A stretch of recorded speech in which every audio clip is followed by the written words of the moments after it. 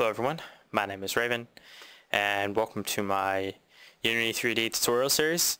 In this particular tutorial we are going to talk about uh, scene management and organization. Now I'm sure someone else might have another way of managing the scene. Um, I actually have no idea. This might actually be the way everyone manages their uh, project. But eventually over here you see hierarchy is going to get utterly massive. Literally, it's it's just going to get filled, and it's not going to be very fun to scroll through. Uh, but there is a way to organize it, and that is using empties. So we're going to create an empty, and I always make sure that the empty is at 000. Now if I did that too fast, um, I'm sorry. The way to do that is game object, create empty, or control shift in and then you get this object which obviously is empty. It's just a blank reference in the scene. Now I'm going to create a cube.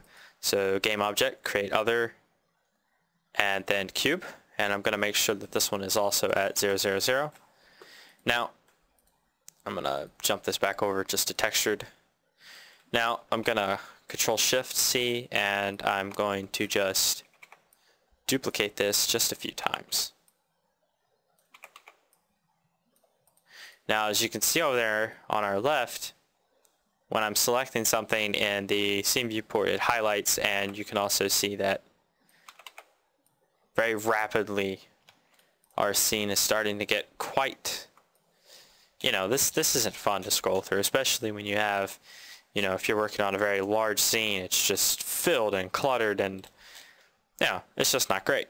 So what I'm gonna do is I'm going to rename this to cubes and then I'm going to shift left click to select them all and I'm just going to left click drag and drop them in.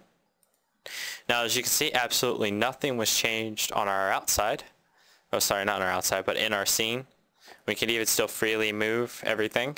The difference is is we now have a drop down tab and you know you can name this to a variety of things and this can be useful for much more but I figured I would cover this early on. Uh, I'll be using it a lot uh, one thing I'd like to mention that if you select cubes and you move this, um, all of them will change. Uh, we'll cover parenting and childs later.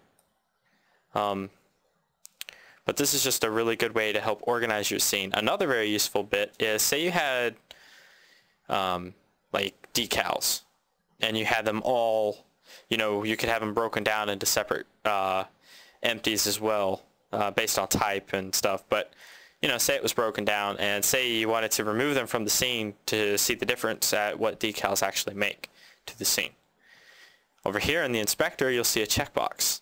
If you click this box, it will say deactivating game objects. You wish to deactivate all, all child objects as well.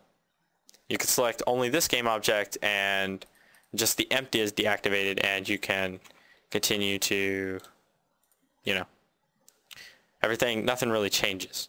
Okay, but I'm going to activate only this. Alright, now what I'm going to do is I'm going to deactivate this game object and all the children.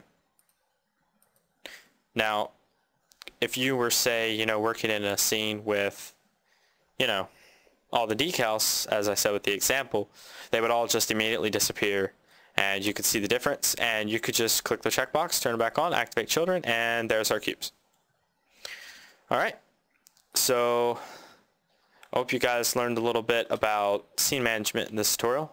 Uh, we'll cover more complex um, stuff on how to manage scenes and you know optimize it, but this is just one way to keep your hierarchy very neat and organized.